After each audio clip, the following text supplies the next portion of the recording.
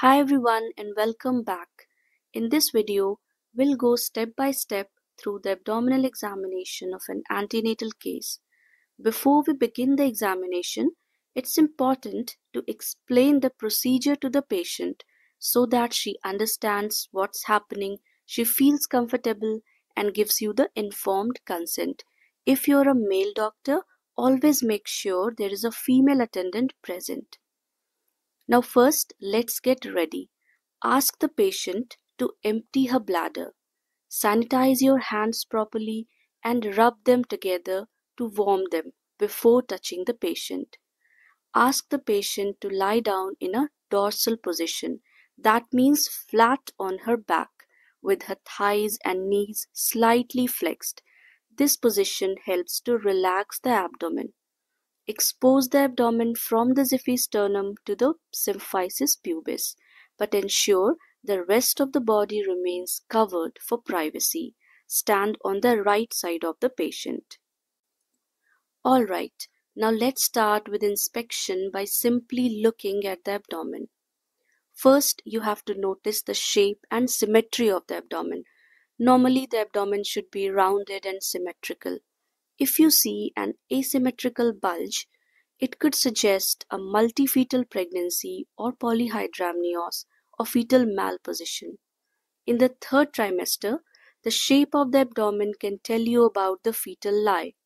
If the abdomen is vertically elongated, the fetus is in a longitudinal lie.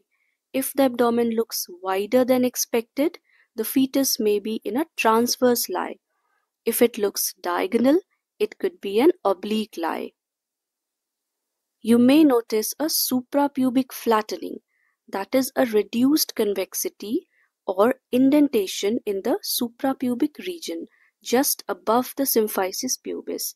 This could indicate engagement of the fetal head in the pelvis in the later stages of pregnancy.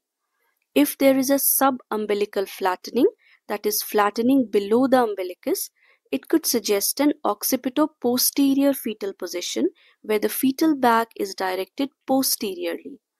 If the abdomen looks too large for gestational age, think of polyhydramnios or a macrosomia.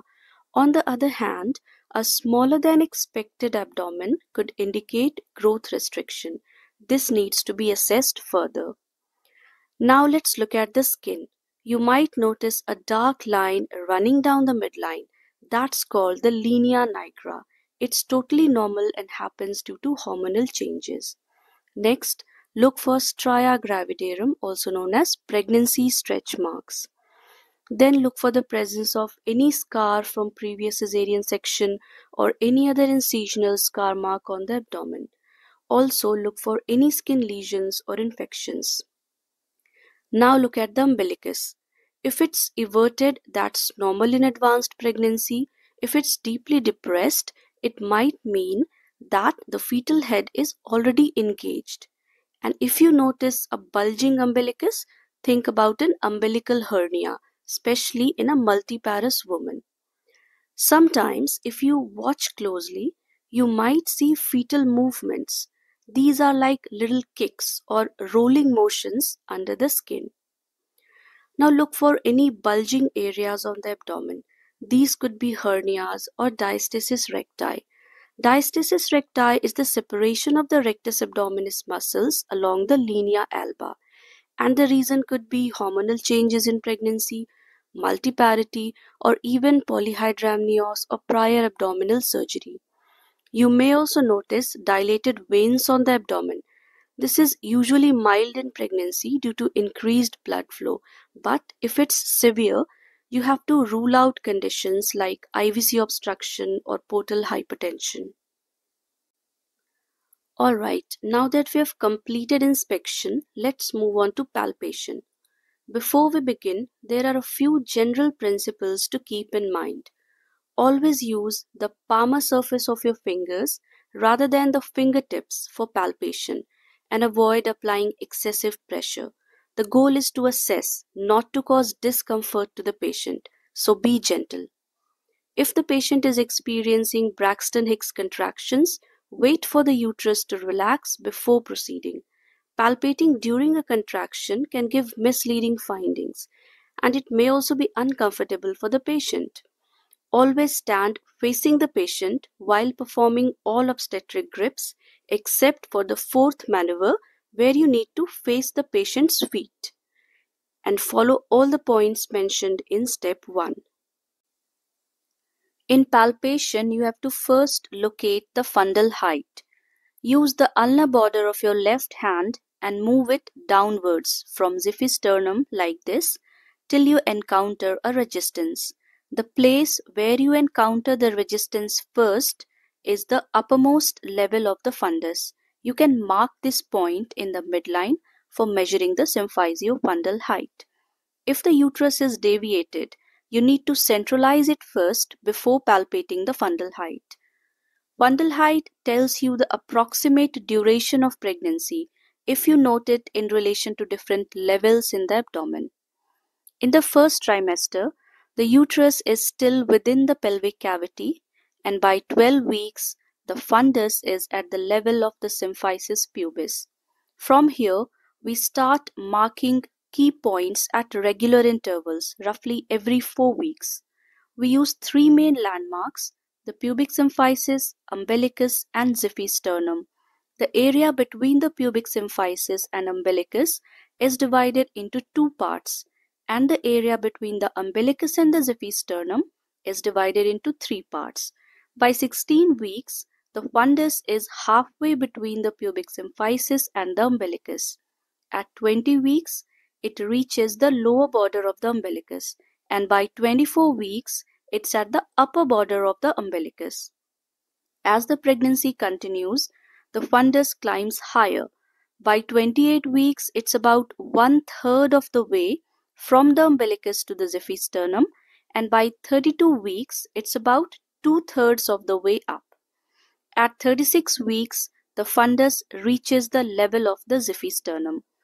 After this point, as the baby's head descends into the pelvic cavity in preparation for delivery, the height of the uterus begins to drop.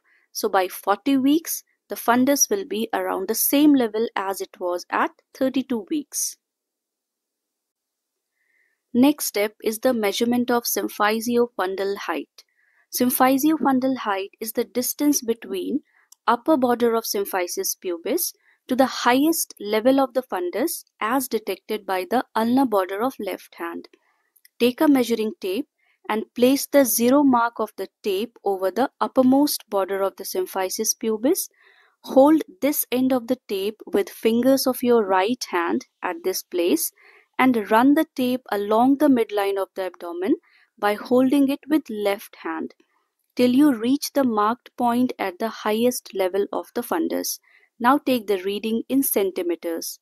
After 20 weeks of gestation, the symphysiofundal height approximates the fetal gestational age until 36 weeks of pregnancy. Now let's discuss the obstetric grips or Leopold's maneuvers. The first Leopold maneuver is also known as fundal grip. Face towards the patient's face, keep both the hands flat on the fundal area like this and palpate whole of the fundus gently. Do not poke with fingertips. Fundal grip tells you about the lie of the fetus. If you feel some structure in the fundus, the fetus is in a longitudinal lie. If the fundus feels empty, it suggests a transverse lie. The fundal grip also tells you about the fetal presentation that is which part of the fetus occupies the lower pole of the uterus. On performing fundal grip, if you feel a broad, soft and irregular mass, it indicates that buttocks are in the fundus, meaning the head is down and it's a cephalic presentation. If you feel smooth, hard and globular mass in the fundal grip, it suggests the head is in the fundus, meaning the buttocks are down and it's a breech presentation. Now coming to the second Leopold's maneuver, which is also known as lateral grip or umbilical grip. Stand facing the patient's face, place your hands on both sides of the umbilicus and palpate the sides and front of the uterus, one side after the other. For palpating the left side, gently press the right side with your left hand to steady the uterus and palpate the left side with your right hand. Repeat the same for palpating the other side. Steady the uterus from the left side and palpate the right side. You have to carefully notice what you are feeling on palpation. If you get a smooth, curved and resistant feel, it is suggestive of back of the fetus. The limbs feel like small, irregular, knob-like parts. Now you have to notice the position of the back and the limbs of the fetus.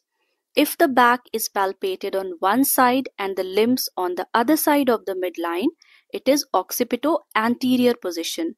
The side where you could palpate the back. The occiput would also be towards that side only. If you palpated back on the left, it is left occipito-anterior position. If the back was palpated on the right side of the woman, it would be right occipito-anterior position. When the fetal back is palpated in the flank and more towards the back of the mother and if it is being felt with difficulty and if the limbs are palpated more anteriorly on both sides of the midline, it is occipito-posterior position. You can also note the position of the anterior shoulder. In cephalic presentation, the anterior shoulder is palpated as a well-defined prominence in the lower part of the uterus above the head. If the anterior shoulder is in the midline, this suggests that the fetal back is exactly aligned with the midline of the maternal abdomen, indicating a direct occipito-anterior or direct occipito-posterior position. If the anterior shoulder is away from the midline towards one side, this suggests that the fetus is in a left or right occiput position. Now see, the anterior shoulder lies on the same side as the back of the fetus. If the anterior shoulder is on the mother's left side, the fetal back is also on the left, so the fetus is in left occiput position, LOA, LOT or LOP. If the anterior shoulder is on right side, the fetal back is on the right, indicating a right occiput position. ROA, ROT or ROP. In cases of transverse lie, the head is felt in one flank and buttocks are felt on the other flank. So lateral grip tells you about the lie as well as the position of the fetus. The third Leopold's maneuver is known as Pawlik's grip or second pelvic grip. Stand facing towards the patient's face Stretch your thumb and forefingers of your right hand like this and place it over the lower pole of the uterus, keeping the ulnar border of the palm on the upper border of the pubic symphysis. Try to approximate the thumb and the fingers to grasp the presenting part and then try to move it from side to side gently. If the presenting part is not engaged, you can grasp the presenting part and you can move it from side to side. That is, it will be ballotable. Pawlik's grip tells you about the presentation, engagement, and attitude. We'll further discuss attitude with the next maneuver. In transverse lie, Pawlik's grip is empty. For performing the fourth Leopold's maneuver or the first pelvic grip, face towards the feet of the patient. Four fingers of both the hands are laid on both sides of the midline at the lower pole of the uterus, above and parallel to the inguinal ligaments.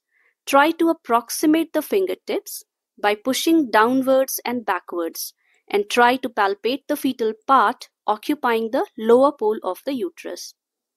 The fourth maneuver tells you about the presentation, the presenting part, the engagement, and the attitude.